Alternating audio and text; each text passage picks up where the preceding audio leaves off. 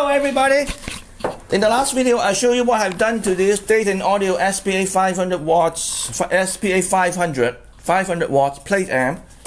I have get rid of the DC offset at the output and also improved the power supply. And I'm going to use this as, as an example of where manufacturer cut corner. Again, this is actually a pretty good amp for what they what what they're asking for. But they have the cut corner, and where they cut corner is the power supply. So I'm going to move that camera to the whiteboard, then I can start talking. Start talking about why they always cut corner in the power supply. They put a lot of effort into circuit design, but they always skimp on the power supply because the power supply just costs money. Use the Dayton Audio 500 SPA 500 as an example, it uses two pieces of 2200 microfarad 200 volt cap. Now I'm just going to simplify it, just say 2200 microfarad. They're always plus and minus, so it's by two. It's multiplied by two, two pieces, one one per rail. Now the, the actual rail voltage is 135 volt, but they use a 200 volt cap. I just don't get that one. I I I I admit I don't get that one. A 2200 microfarad caps I usually have 3, 3 amp ripple, ripple current, maximum ripple current. Ripple current is the maximum, the ripple maximum ripple current uh, rating is the maximum current that the capacitor can handle without destroying itself. So with a 3 volt, uh, 3 amps ripple current maximum rating, it's not even enough to have 250 watts. So they only have two of these, plus and minus rails, which is one of it, one of it, one per rail. Don't expect to draw more than 200 watts out of that amps and, and, and last more than six months.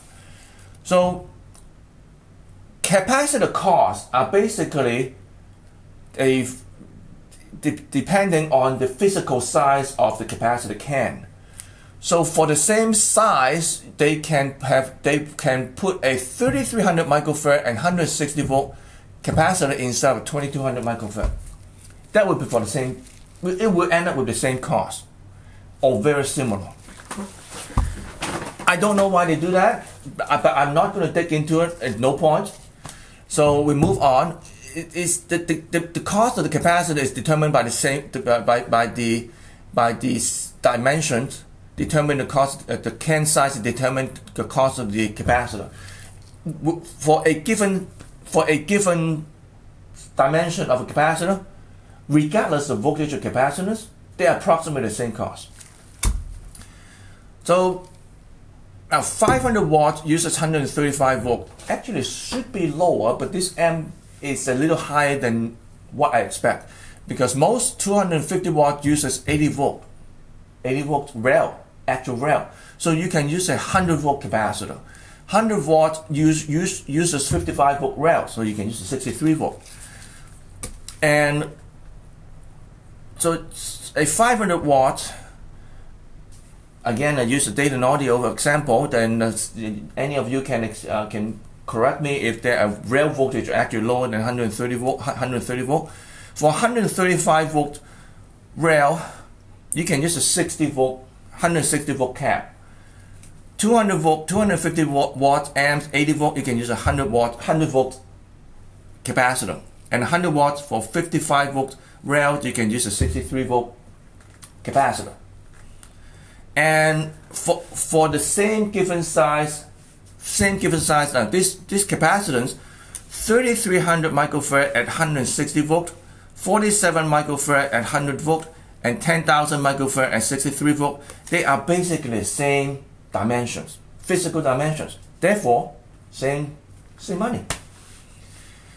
But the ripple current, maximum ripple current rating at 3300 microfarad is 3 amps, 4700 microfarad is 5 amps, and 1000 microfarad is 6 amps. Some of them can be up to 7 amps, but to be fair, I'm comparing all this in a general general purpose capacitor, not a specific design. There are some specific design they can have this slightly, just tiny bit slightly bigger can and have almost twice the ripple, ripple current, but they cost a lot more.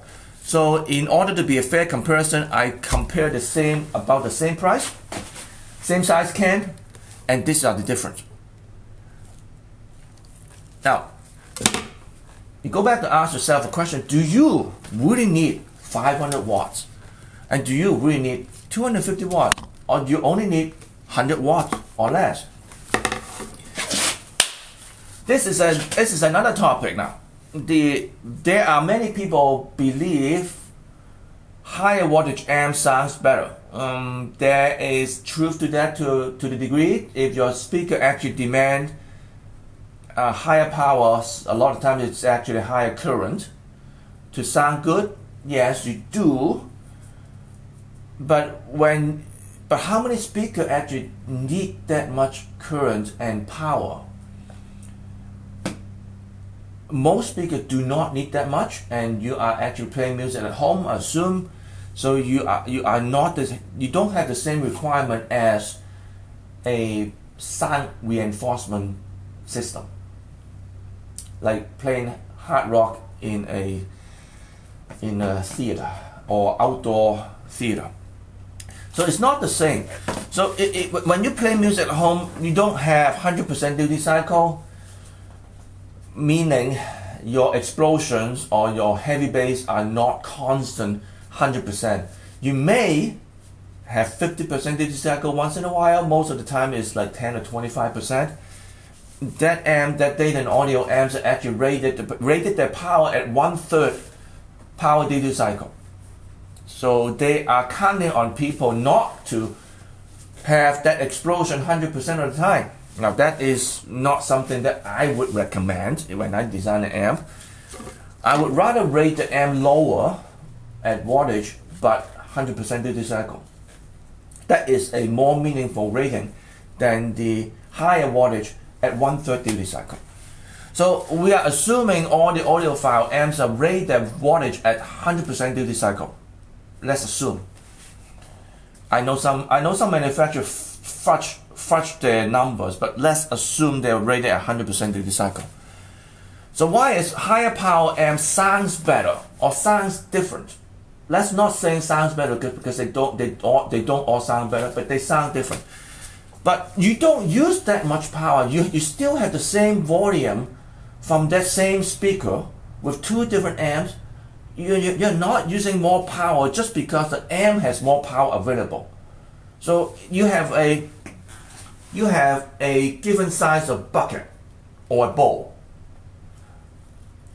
And you try to fill the bowl with water with a small tap, low wattage amp, or big tap, high wattage amp you can only hold the same amount of water no matter how fast or how big the water tap is.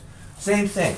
Your speaker can require the same amount of wattage no matter how big your amp is available. But what what you may have been hearing is the numbers of output devices, number of transistors. The higher wattage amp usually have more usually use more number of transistors. So therefore, lower impedance. The, low, the lower impedance because a no, more number of transistors, more number of water taps. The water flow faster. But it can only flow as much and as fast as much as your bowl can hold. It all depends on how much the speaker wants not how much an amp wants to drive out, is how much the speaker wants. So all this water tap coming to a joint and this single water tap going to the speaker. So this is a this is a water tap that control all the flows. However, when you're looking at this point, looking back at the amp, if you have more number of transistor and output stage, you have a lower impedance. The lower impedance usually is at the higher power amp is not because it has higher power it is because it has more number of transistor at the output stage. So that that is that might have been something that you are hearing with higher power power amp. So you got to remember the in the the relationship of output impedance is the number of output transistor. The higher the higher the output, the more transistor at the higher the output voltage, the more transistor at the output. Therefore, lower impedance. So what if if you have a lower voltage output power amp, but you parallel as many as transistor as the higher voltage power amp? Is that a new concept? That might be a concept that a lot of people don't get it because they, they, they're also thinking from the other angle, why do I need that many transistors at low output, low voltage output? Because you want higher, you want, you want lower impedance, that means you need more output transistor. That's when I did my NSL power amp, I used 288 small signal op amp to get the impedance as low as a 200 watt amp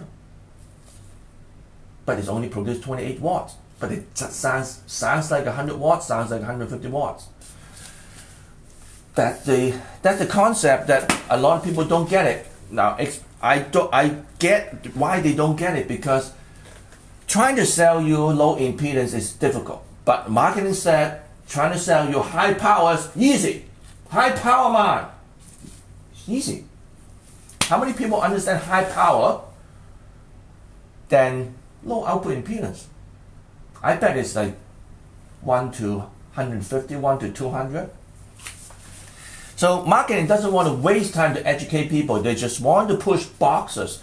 And you know, lots of people work in marketing doesn't even know what they're marketing for. They don't even know the product. They just want to throw words into into some into the puppet and sell boxes. As long as they move boxes, they've done the job. So anyway, so when you when you when you say higher wattage power amp sounds better than the lower wattage on your speaker, it's not necessarily the higher wattage because you don't play it louder. You don't use more wattage. So in order, so, but but from a marketing point of view, you have to sell high wattage output power amp in order to sell more. Now, what what happened when you when you get up to when you get from 100 watts to 250 watt, you have to raise the voltage of the capacitor from 63 volt to 100 volt. That in order to keep the cost the same, you got to lower the capacitance. That's the problem of this they cannot raise the price. They had to keep the price. So they raised the voltage to 160 volt, or in that case 200 volt, but they have to lower the capacitance. Capacitance mean current. No currents. You can't drive a speaker. But they can claim wattage. One third duty cycle. I'm not knocking that amp. That amp, I still like it after they improve it. But marketing just force them to do what even engineer doesn't want to do, but they have to do it in order to sell. So I'm doing it again. If you have a hundred watt amps, you can use a ten thousand microfarad capacitor. But if you if the market is saying you gotta raise it to 250 watts in order to sell, then the engineering has to lower the capacitance to 47 micro, 4700 microfarad because the capacitor voltage have to raise to 100 volt to keep the same price and physically the same. Unless you can sell for more, you can increase the capacitance. But in the case of this, you have a number to meet. Now in every case, you have a number to meet. But if that number does not allow you to add more capacity into the amp. There you go. It, it, it, if they have to sell it for a price point, then you have to cut corner, and most of the time they cut in power supply. And I hope I hope this explains some of the reason that manufacturer cut corner on the power supply I know I was kind of back and forth a little bit. It, it wasn't very coherent, but I hope this is a starting point. I will do more of this if you like, and I, I can actually make I might separate section by section to explain more why, because there are deeper reasons than this whiteboard can show you at this time. Okay, the video getting long now, so I'm gonna cut it off. Until next time, stay safe. Bye.